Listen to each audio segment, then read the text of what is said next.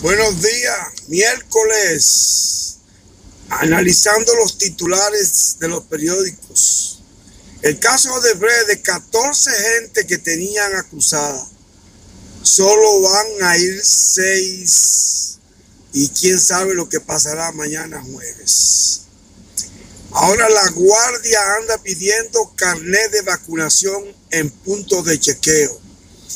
Creo que es inconstitucional pero yo no soy abogado.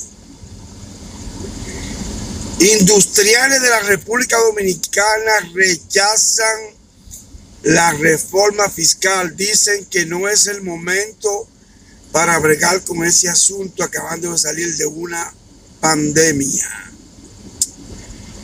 Y hay un grupito que quieren quitar la estatua de Colón. Otro lío más tantos problemas que hay en la República Dominicana y mira lo, lo que están esta gente. Y los partidos políticos están midiendo fuerza a ver quién controla la ADP, la asociación que agrupa a los profesores.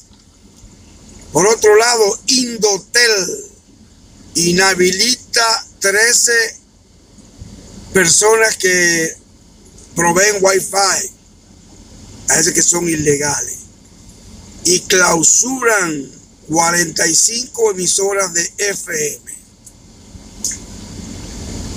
La temperatura hoy en Lin 62 grados, no hay posibilidad de lluvia, 82% humedad relativa.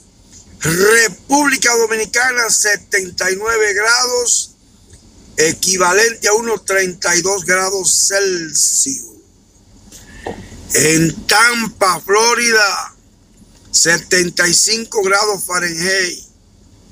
No hay posibilidad de lluvia. Es todo. Buenos días, se cuidan. No hay música hoy. Bye.